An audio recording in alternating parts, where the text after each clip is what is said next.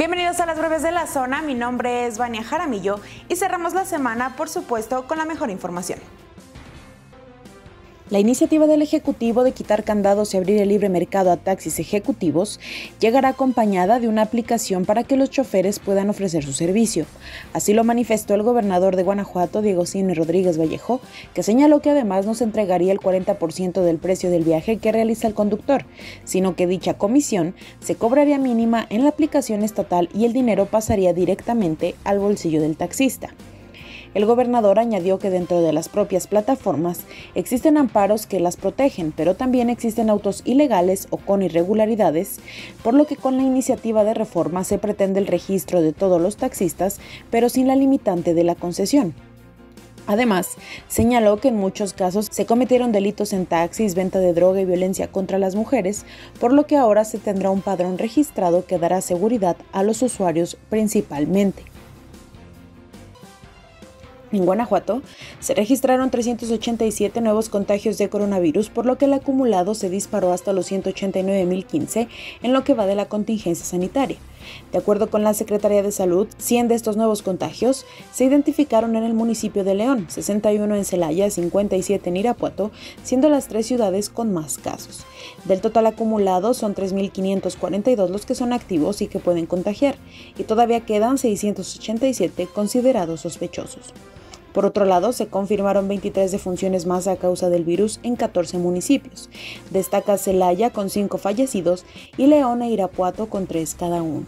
Suman ya 12.983 defunciones en 19 meses de contingencia. El paciente fallecido más joven tenía 30 años y era originario del municipio de Dolores Hidalgo. Actualmente, 177 guanajuatenses se encuentran hospitalizados luchando contra el virus.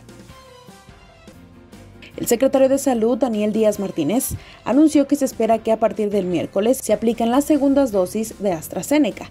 Serán 570 mil dosis para aplicar en 20 municipios. 16 son para adultos de 30 a 39 años que no han recibido segunda dosis y se trata de San Miguel de Allende, a Paso el Grande, a Paso el Alto, Comonfort, Santa Cruz de Juventino Rosas, Villagrán, Acámbaro, Jerecuaro, Salvatierra, Moroleón, Uriangato, Valle de Santiago, Irapuato, Purísima, Abasolo y Manuel Doblado.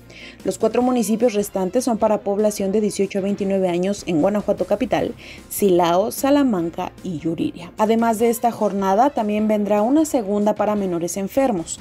El funcionario estatal señaló que esperan recibir más dosis de Pfizer para la aplicación.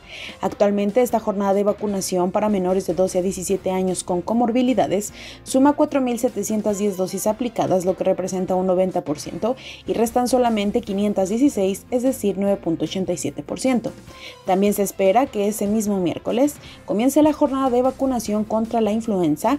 Llegaron a Guanajuato 274 mil dosis y la meta para este año es de 1.706.000 vacunas aplicadas.